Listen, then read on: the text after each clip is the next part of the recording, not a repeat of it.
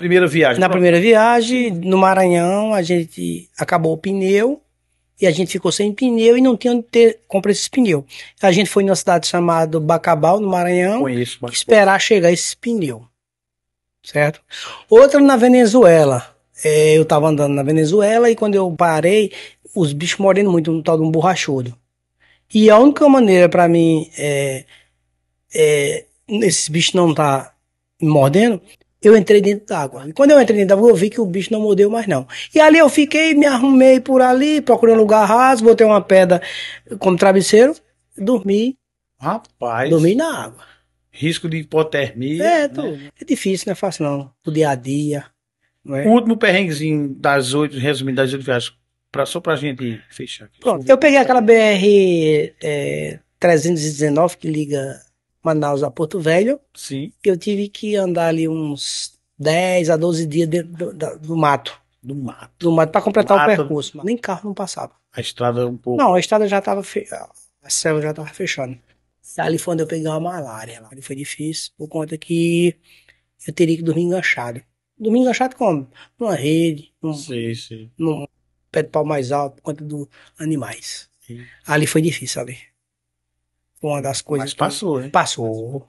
Mas aí, É, quem conduz tudo isso aí? olha, é, primeiramente é Deus, né, que tá na frente. Inclusive, quando tem uma coisa difícil, eu me sento e peço a Ele. Então você tem fé em Deus. E eu peço a ele, meu Deus, resolve isso aqui. Que... E eu sento e resolve, porque chega pessoas do, do nada, manda, e do nada chegam pessoas com socorro.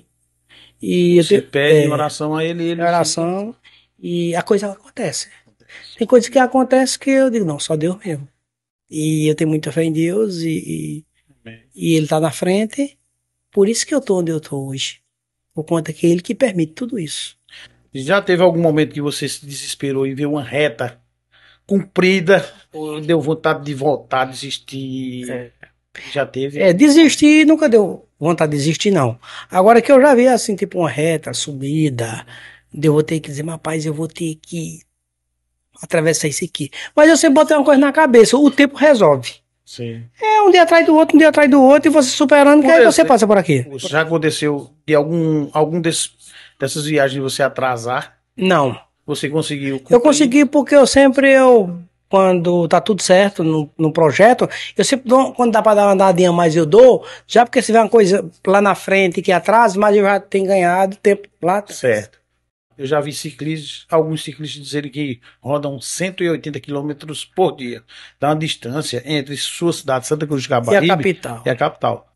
É verdade, isso dá para você fazer esse percurso durante o dia. Durante o dia que nós falamos, é a luz do dia. Dá? É, olha, veja só, o que que acontece? Eu não eu, eu só ando uma média de 70, 80, por conta que eu ando carregado, né?